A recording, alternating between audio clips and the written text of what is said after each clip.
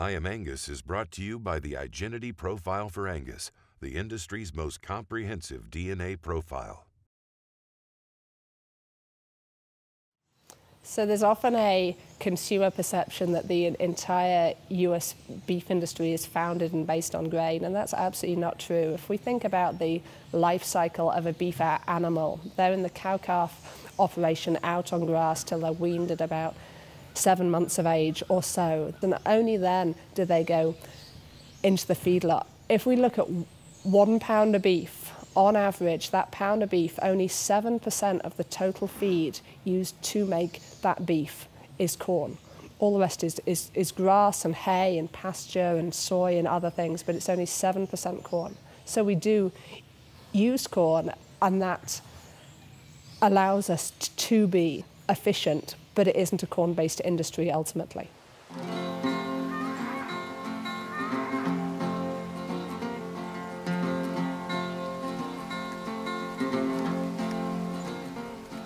So NCBA came to me about two and a half years ago now. We'd published a paper in dairy comparing the dairy industry 1944 to 2007. So I was asked whether we could do the same thing for beef comparing 1977 to 2007. And the aim of that was really to show how the improved efficiency gains and productivity over that time have had a positive effect on land use, water use, carbon footprint and also energy use. So compared to 1977, for every pound of beef in 2007, we needed 30% fewer animals, we needed 33% less land, 14% less water, 19% less feed, and 9% fewer fossil fuels per pound of beef. So what that all adds up to is a 16% decrease in the total carbon footprint per pound of beef produced in 2007 versus 77.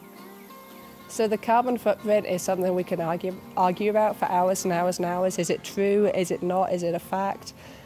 The fact is that it is an issue for the consumer, for the retailer, for the processor, and for government. So it isn't something as an industry we can ignore and put to the side. The positive thing that we do have is that things that we do to cut our total carbon in terms of improving productivity and efficiency will also cut land use, water use and energy use. Consumer choice is really, really important and everybody should have that option to buy corn-fed beef, grass-fed beef, local beef, organic beef, those are all totally acceptable, viable systems. I think that the most important thing to understand from a carbon, land and water point of view is that grain-fed actually uses far less land, far less water and emits far fewer greenhouse gases than grass-fed beef.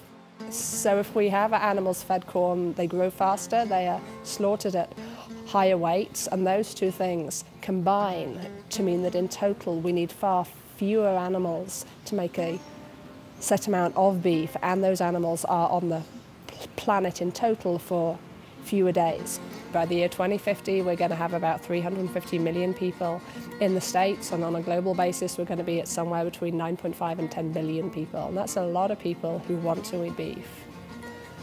On that basis, we have a huge challenge, but also a, a, a huge opportunity to supply more and more people with safe, affordable, nutritious beef made in the most efficient way, using fewer, fewer resources, less land, less water, less energy, less fuels, and therefore being a totally environmentally friendly choice both now and in 20 or 30 years' time.